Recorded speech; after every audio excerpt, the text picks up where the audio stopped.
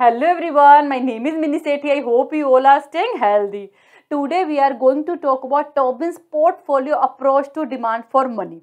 As we know, investment in bonds are very risky. That's why in this theory, Tobin says a rational individual do not invest their whole money on bonds. A rational individual do not invest their whole money on bonds Instead of this, they keep portfolio of asset in which include both money as well as bonds. Second thing in this theory, Tobin emphasizes on store value of money. As we know, money maintain its value over a time period. We can store it and spend it later. Now we are going to talk about equation of this theory. In this equation, MD over P is our real money demand. As we know, we can calculate real money demand when we divide nominal money demand with price.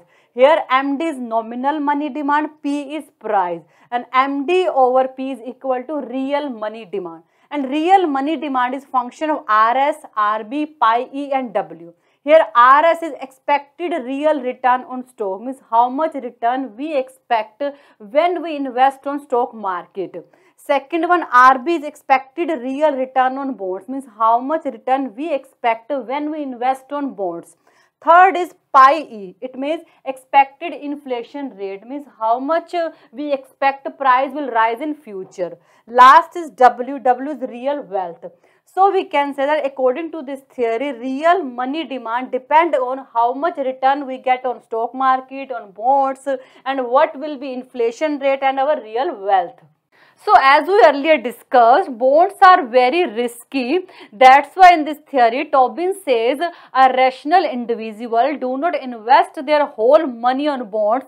In his portfolio consist both money as well as bonds. This concept we will clearly understand with the help of this diagram.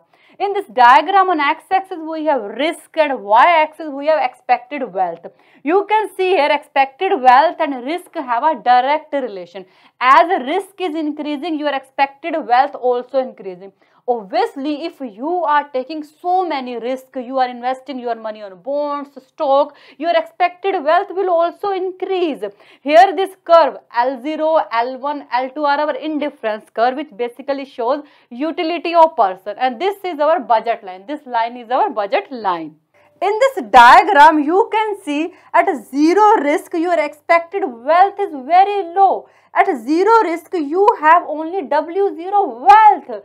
Zero risk means you are not investing your money anywhere. That's why you don't have any interest income.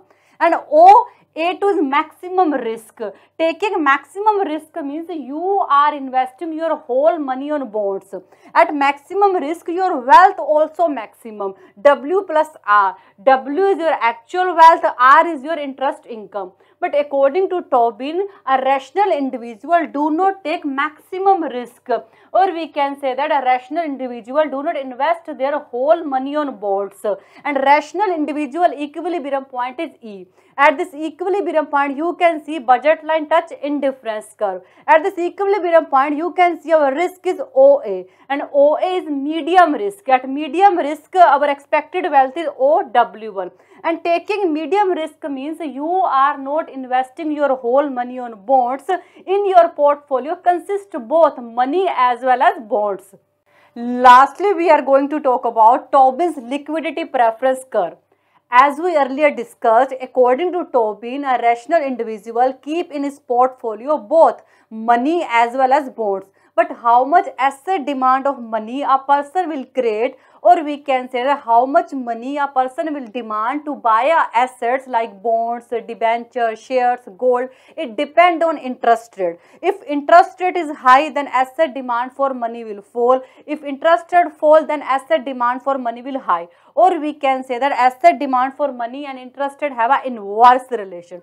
In this diagram, you can see on x-axis we have asset demand for money and y-axis we have interest rate. As interest rate increasing, asset demand for money is reducing. When we join all this point, we will get one downward sloping curve. It will call Tobin liquidity preference curve. And this is all about Tobin portfolio approach to demand for money. I think you got it and thank you so much for watching this video. Bye. Take